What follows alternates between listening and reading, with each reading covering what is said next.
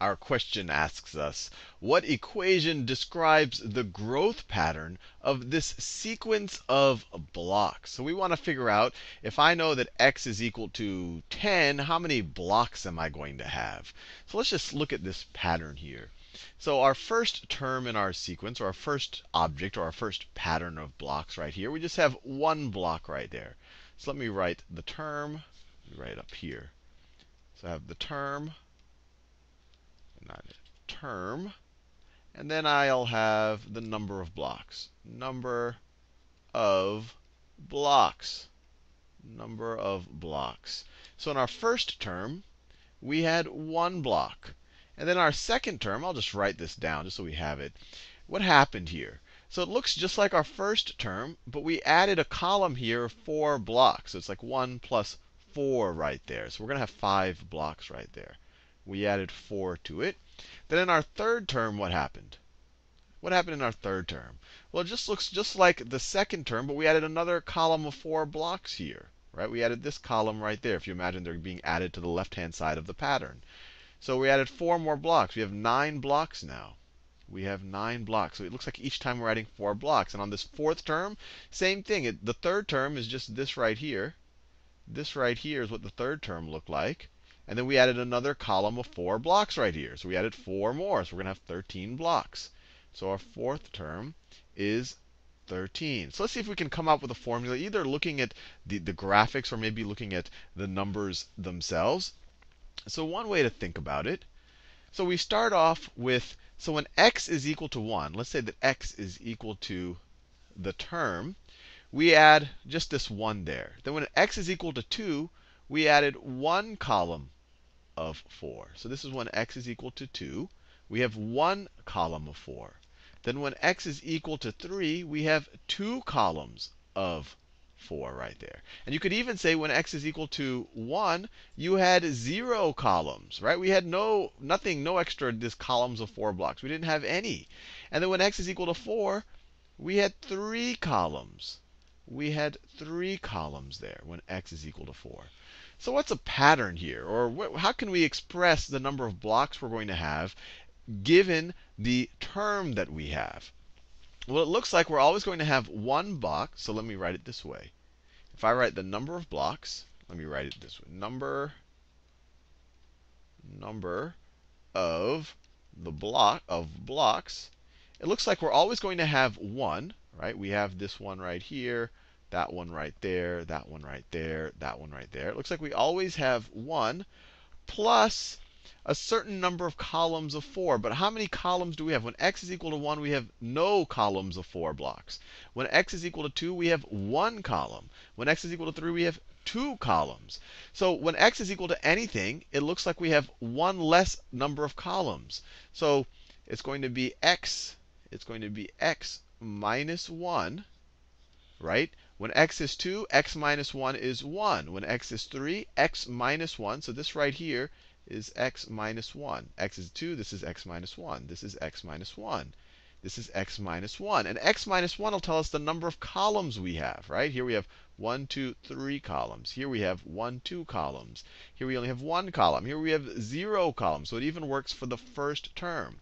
And in every one of these columns, so this right here, x minus 1 is the number of the number of columns and then in each column, we have four blocks. So it's the number of columns times times 4, right? For each of these columns, we have one column. We have one, two, three, four blocks. So this is the equation that describes the growth pattern. So let me write this. Let me simplify this a little bit. If I were to multiply 4 times x minus 1, I get the number of blocks being equal to 1 plus 4 times x. I have to distribute it. 4 times x is 4x. And then 4 times negative 1 is negative 4. So that's equal to the number of blocks.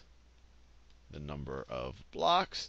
And then we could simplify this. We have a 1 and we have a minus 4. Or I guess we're subtracting 4 from it.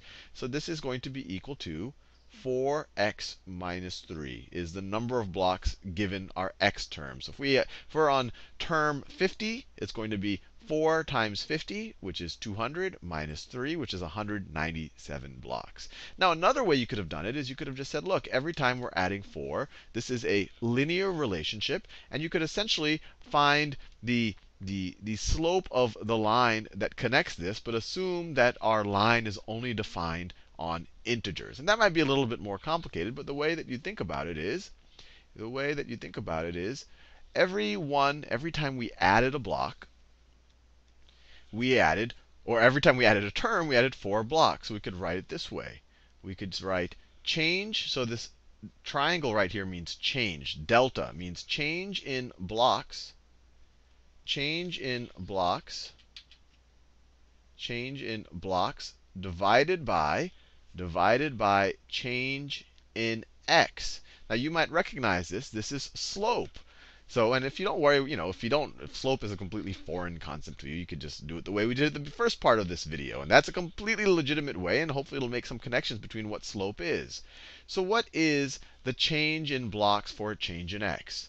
So when we went from x going from 1 to 2, so our change in x here would be 2 minus 1. We increased by 1. What was our change in blocks? It would be at 4, or 5 minus 1. It's 5 minus 1. And what is this equal to? This is equal to 4 over 1, which is equal to 4. Let me scroll over a little bit. So our change in blocks for change in x is 4, or our slope is equal to 4.